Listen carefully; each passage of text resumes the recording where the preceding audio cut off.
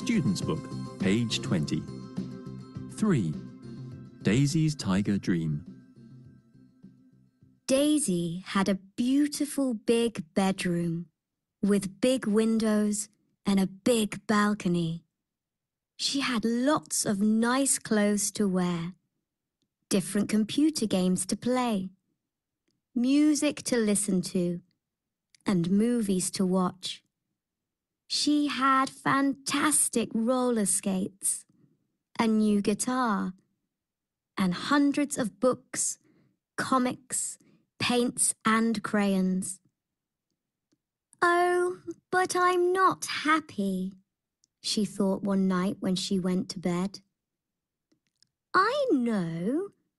I can ask my parents to buy me some more exciting games and a longer skateboard a better bike, and a newer laptop. Yes, that's a great idea. Then Daisy went to sleep and had a very strange dream.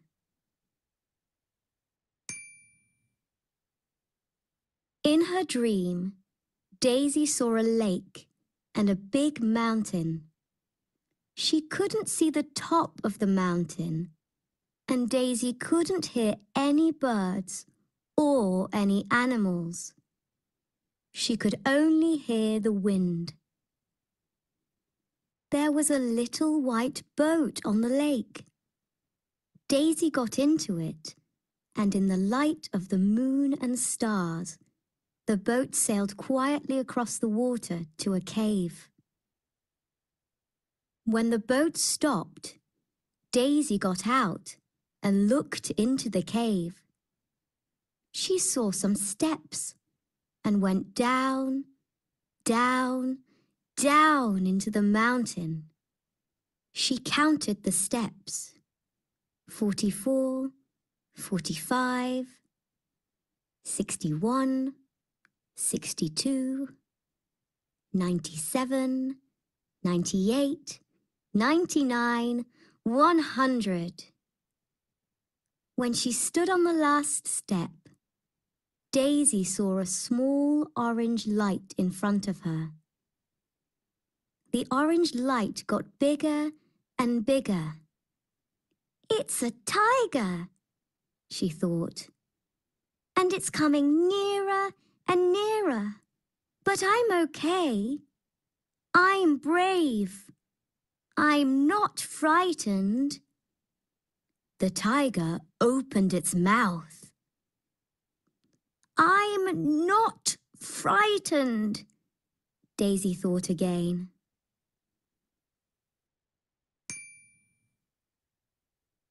Ask me a question, child, the tiger said quietly. Why aren't I the happiest child in the world? I have really cool clothes and lots of exciting games and brilliant CDs and movies. People aren't happy because they have things, child, the tiger said. Be a good friend and be kind to animals and enjoy the light from the sun, moon and stars. Do that and you can be happy again. Then Daisy woke up. She heard her phone. Her friends never called her before breakfast. Hi, Daisy. It's Jack here. You and I never talk at school because you're always too busy, but I can't do our music homework. You're very good at music.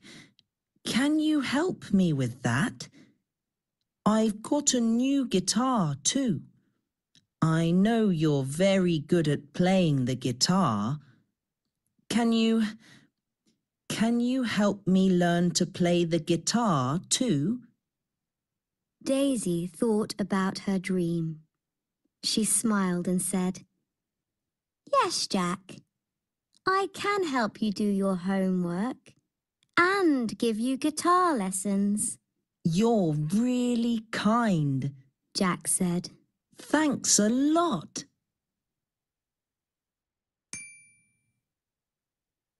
Daisy went downstairs to have her breakfast. Her mum was in the kitchen. Daisy, she said, we've got something for you. But I don't want a better bike or a...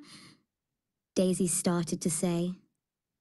Her mum pointed to a black and orange kitten and said, Dad found it outside last night. Be kind to it. It needs a good friend. Daisy thought about her dream again. She picked the kitten up and smiled at it. Hello, she said. What a pretty face.